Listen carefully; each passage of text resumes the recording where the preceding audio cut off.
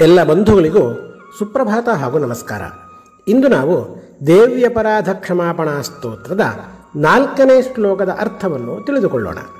ಈ ಶ್ಲೋಕ ಹೇಗಿದೆ ಜಗನ್ಮಾತರ್ಮಾತಸ್ತವ ಚರಣ ಸೇವಾನರಚಿತ ನವಾದತ್ತಂ ದೇವಿ ದ್ರವಿಣಮಪಿ ಭೂಯಸ್ತವ ಮಯಾ ತಥಾಪಿ ತ್ವಂ ಸ್ನೇಹಂ ಮಯಿ ನಿರುಪಮಂ ಯತ್ ಪ್ರಕುರುಷೆ ಕುಪುತ್ರೋ ಜಾಯೇತ ಕ್ವಚಿದಪಿ ಕುಮಾತಾ ನ ಭವತಿ ಈ ಶ್ಲೋಕದಲ್ಲಿ ಜಗನ್ಮಾತೆಯಾದ ದೇವಿಗೆ ನಾವೇನೂ ಕೊಡದಿದ್ದರೂ ಸಹ ನಿರ್ವ್ಯಾಜವಾದ ಯಾವುದೇ ಪ್ರತಿಫಲಾಪೇಕ್ಷೆ ಇಲ್ಲದ ಪ್ರೀತಿಯನ್ನು ನಮ್ಮ ಮೇಲೆ ಅವಳು ತೋರಿಸಿದ್ದಾಳೆ ಎಂದು ಬಹಳ ಸುಂದರವಾಗಿ ವರ್ಣಿಸಲಾಗಿದೆ.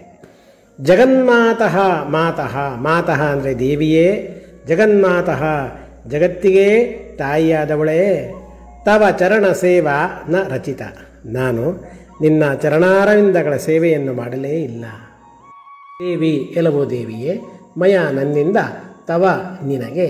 ಭೂಯ ಬಹಳ ದ್ರವಿಣಮಪಿ, ದುಡ್ಡೂ ಕೂಡ ನ ದತ್ತಂ ಕೊಡಲ್ಪಡಲಿಲ್ಲ. ಅಂದರೆ ನಾನು ಯಾವುದೇ ರೀತಿಯ ದ್ರವ್ಯದ ಸಮರ್ಪಣೆ ನಿನಗೆ ಮಾಡಲಿಲ್ಲ. ತಥಾಪಿ ಹಾಗಿದ್ದರೂ ಕೂಡ ತ್ವಂ ನೀನು, ಮಯಿ ನನ್ನ ವಿಷಯದಲ್ಲಿ ನಿರುಪಮಂ ಸ್ನೇಹಂ ಅಪರಿಮಿತವಾದ ಪ್ರೀತಿಯನ್ನು ಯತ್ ಪ್ರಕೃಷೆ ಏನು ತೋರಿಸ್ತಾ ಇದ್ದಿ? ಇದು ಯಾಕೆಂದರೆ ಕುಪುತ್ರೋ ಜಾಯೇತ ಕ್ವಚಿದಪಿ ಕುಮಾದ ನಭವತಿ ಈ ಪ್ರಪಂಚದಲ್ಲಿ ಕೆಟ್ಟ ಮಗನಾದರೂ ಹುಟ್ಟಬಹುದು, ಕೆಟ್ಟ ತಾಯಿ ಹುಟ್ಟಲು ಸಾಧ್ಯವಿಲ್ಲ. ಇದನ್ನು ನಾವು ನಮ್ಮ ಜೀವನದಲ್ಲಿಯೇ ಅನ್ವಯಿಸಿಕೊಂಡು ನೋಡೋಣ. ನಾವು ನಮ್ಮ ಅಮ್ಮನಿಗೆ ಎಷ್ಟು ಸೇವೆ ಮಾಡಿದ್ದೇವೆ. ಏಕೆಂದರೆ ಅವಳು ಜೀವನ ಪರ್ಯಂತ ತನ್ನ ಮಕ್ಕಳ ಒಂದು ಏಳಿಗೆಗಾಗಿ ದುಡಿದದ್ದೇ ಬಂತು. ಕಬ್ಬಿನ ಜಲ್ಲೆಯು ತನ್ನನ್ನು ತಾನು ಗಾಣಕ್ಕೆ ಒಡ್ಡಿಕೊಂಡು ಎಲ್ಲರಿಗೂ ಸಿಹಿಯಾದ ರಸವನ್ನು ಕೊಟ್ಟಂತೆ, ಅವಳು ತನ್ನ ಜೀವನವನ್ನೇ ಮಕ್ಕಳ ಏಳಿಗೆಗೋಸ್ಕರ, ಸಂಸಾರದ ಏಳಿಗೆಗೋಸ್ಕರ ಸಮರ್ಪಿಸುತ್ತಾರೆ. ಮಕ್ಕಳಿಗೆ ಎಷ್ಟೋ ಸಲ ತಾಯಿಯ ಸೇವೆ ಮಾಡಲು ಅವಕಾಶ ಸಿಗುವುದೇ ಇಲ್ಲ. ಆದರೂ ಕೂಡ ತಾಯಿ, ಇಂದೂ ಕೂಡ ನಾನು ನನ್ನ ಮಕ್ಕಳ ಎಷ್ಟು ಸೇವೆ ಮಾಡಿದೆ, ಆ ಮಕ್ಕಳು ನನ್ನ ಸೇವೆ ಮಾಡಲೇ ಇಲ್ಲ ಅನ್ನೋ ಭಾವನೆಯನ್ನು ಹೊಂದೋದೇ ಇಲ್ಲ.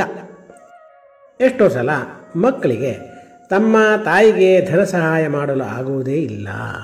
ಆದರೂ ಕೂಡ ತಾಯಿ ಎಂದೂ ಅದನ್ನು ಯೋಚಿಸುವುದೇ ಇಲ್ಲ. ನನ್ನ ಮಗ ನನಗೆ ದುಡ್ಡು ಕೊಟ್ಟಿಲ್ಲ ಅಂತ ಅವಳು ಖಂಡಿತ ಯೋಚನೆ ಮಾಡುವುದಿಲ್ಲ. ನನ್ನ ಮಗ ಸುಖವಾಗಿದ್ದರೆ ಸಾಕು. ಅನ್ನೋದಷ್ಟನ್ನೇ ಅವಳು ಬಯಸ್ತಾಳೆ.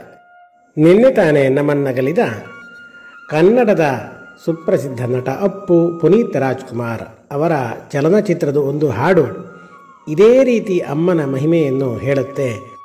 ನೂರು ಸಾರಿ ಹಾಡಿದರು ನಾ ಆಸೆ ತೀರಲ್ಲ, ಜನ್ಮ ಪೂರ್ತಿ ಹಾಡಿದರು ನಾ ಪದವೇ ಮುಗಿಯಲ್ಲ.